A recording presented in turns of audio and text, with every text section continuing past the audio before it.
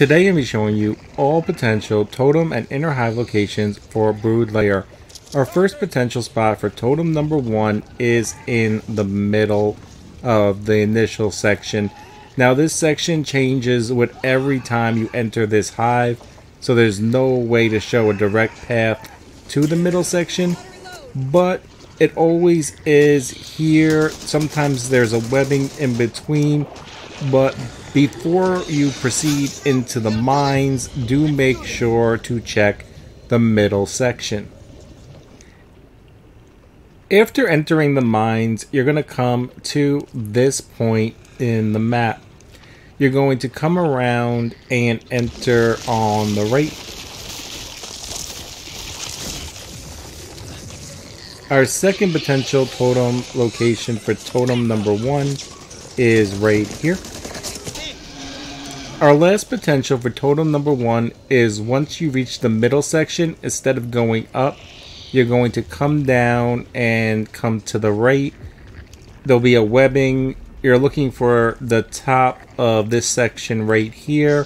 Right at the top is the totem. Usually, uh, sometimes there's a box there, one of the power boxes as well.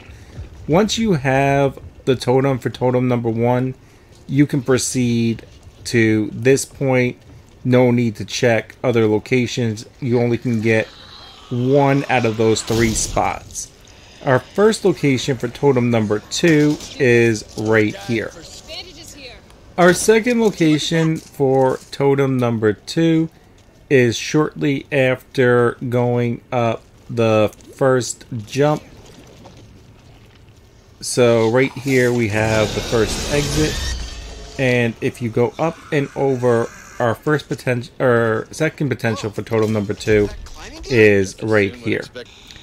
Do make sure to check it before going over the next section because once you go up and over there is no way back.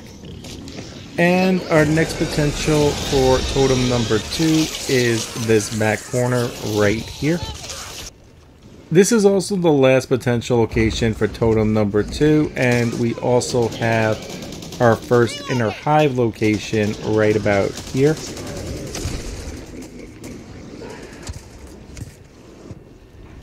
Moving on to totem number three, you're going to follow the main path, and when you get to this section, make a left, then make a right.